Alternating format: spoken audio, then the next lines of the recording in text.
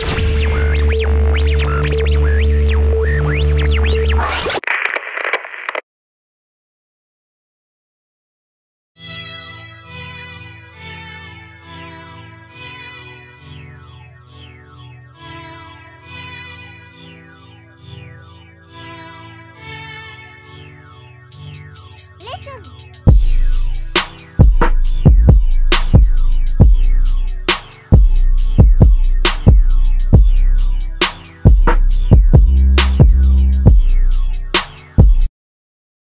Welcome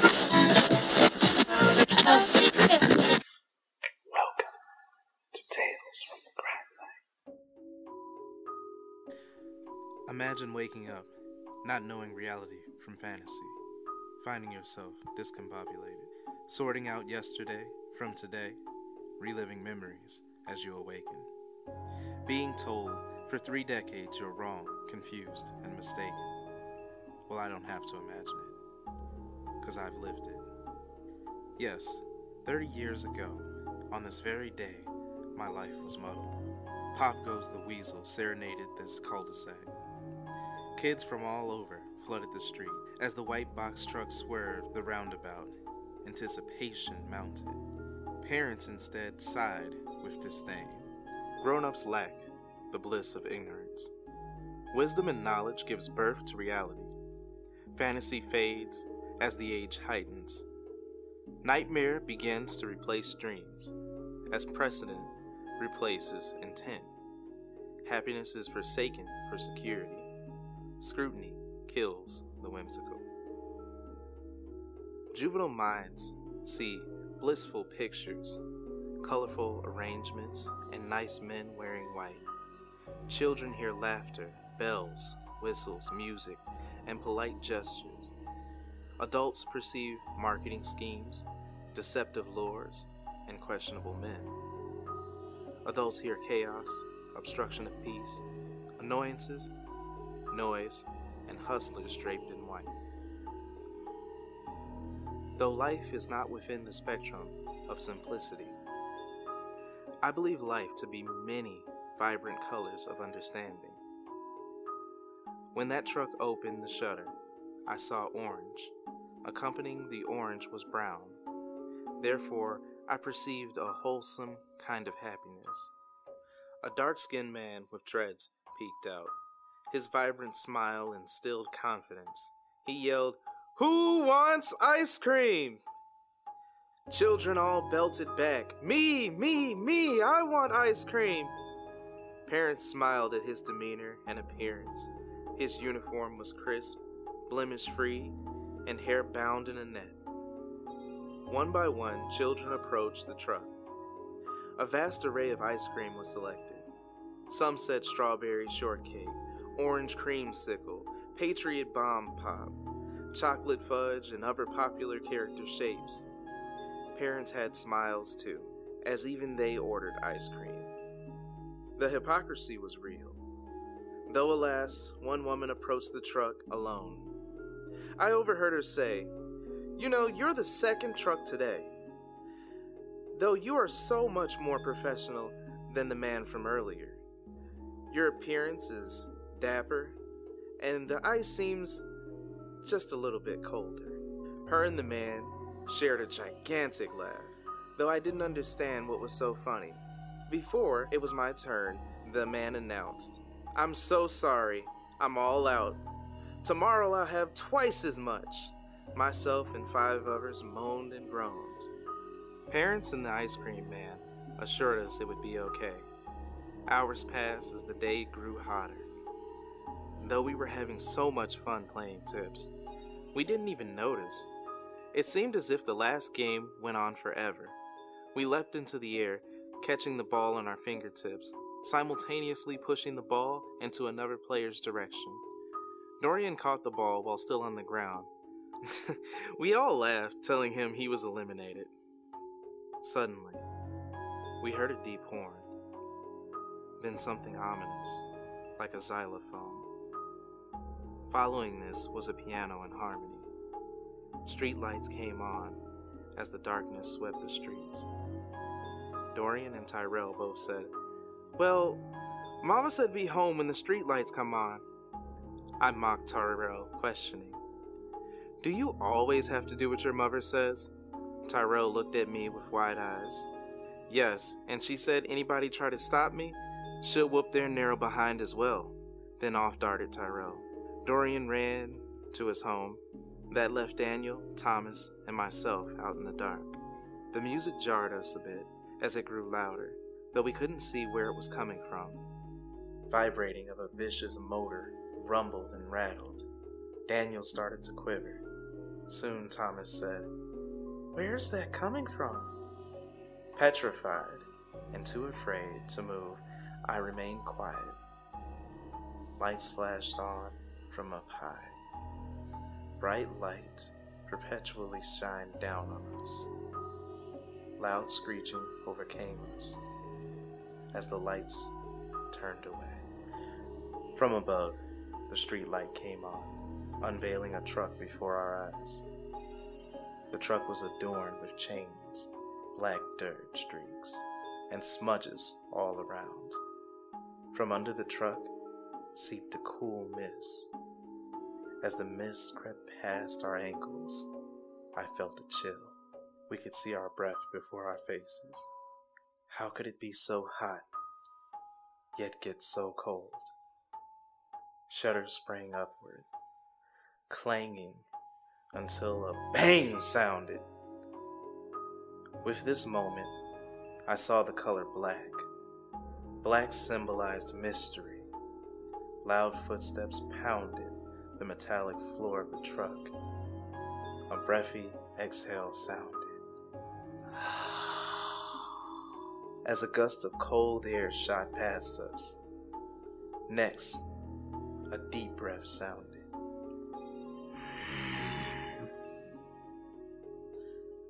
Then a voice spoke. Who wants ice cream? We didn't answer. Then on came a red light inside the truck. Within the light was a pale and robust man with gray hair. He was riddled with scars, corroded flesh, exposed sores, and stitches. He leaned his round face forward, then uttered, I asked nicely, Who wants ice cream? Next time may not be so nice. Daniel hopped backward, screaming, and took off running. The ice cream man laughed as the truck rocked and the sound of the door opening blared. Something we couldn't see chuckled, honking a horn as it ran into the darkness. All we could hear was the pitter patter of quick steps. Daniel screamed for his mother and father. Then steps stopped. And so did the scream. Next was a soft thud and a dragging noise. While the dragging sounded, the ice cream man laughed. Then mockingly he said, well, I guess he was right anyway. He screamed, And soon you'll both scream for ice cream. Tears welled up in our eyes as we wanted to whimper. Looking down at his expression, it suddenly changed. Then he stated, I'm sure he made it home. It may be too late for ice cream. A warm sensation went down my right thigh to my ankle. I realized in that moment I was so scared that I had no choice but to wet myself. What was there to be ashamed?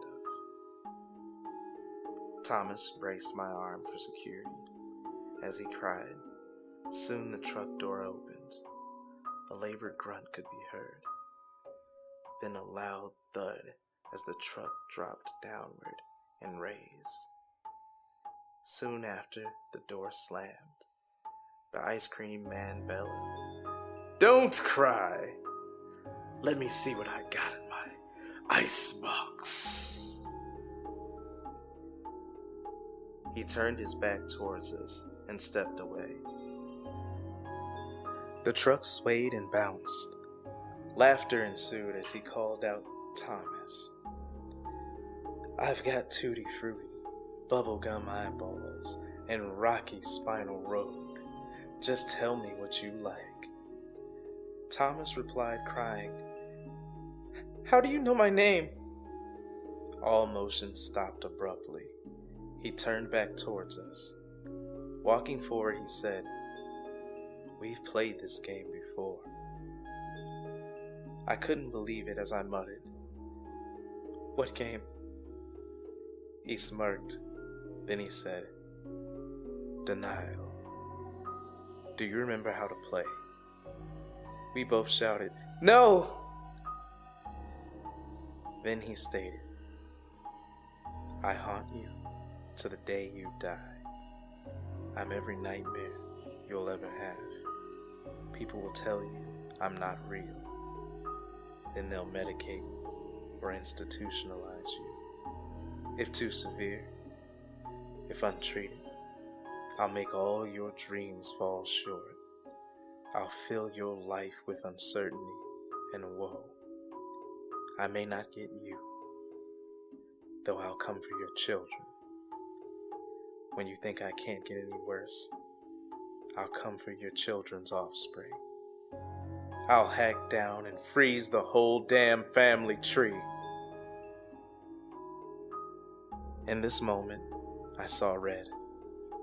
Red light engulfed him, till his features was hard to distinguish. The shutter screeched as it closed. Carving noises echoed from the hull of the truck. Then the truck started up as the motor turned on. Screeching off, the truck sped off into the darkness beyond the streetlights. Out came our parents, asking us to come in. Daniel's parents asked, Where's Nino? We tried to explain. Our parents got frustrated and told us, Stop playing! Tell us where Daniel is. No answer was ever good enough. Three days later, there was an Amber Alert, three states wide, though Daniel was never found. Years later, many more happened. I choose to never have children. Thomas believed our parents, for the other instances, had nothing to do with the ice cream truck. Thomas became a drunk and married. The only person that could stomach him, despite his rampant gambling. He was a good man and an even better father until one day he came into my hospital dorm, crying outside the glass door. He said of his five children, his youngest son has gone missing. Having tried to let go of the past, I dare not say it. He went on to tell me what he claims his eldest boy is experiencing. Many pieces of the story was missing, though what stood out was the music. He said his eldest heard what we heard. I reminded Thomas of that night. In his drunken stupor, he yelled, Shut your dirty mouth! It wasn't true then, and it isn't true now. You gotta let this go and get better. Almost 30 years in this shithole. Is this what you want? He collapsed against the glass door crying. I touched the glass where his head lays, while throwing back pills with the other hand. I reached for my glass to swallow down the pills. I stayed. I guess we're still playing the game, huh, Thomas?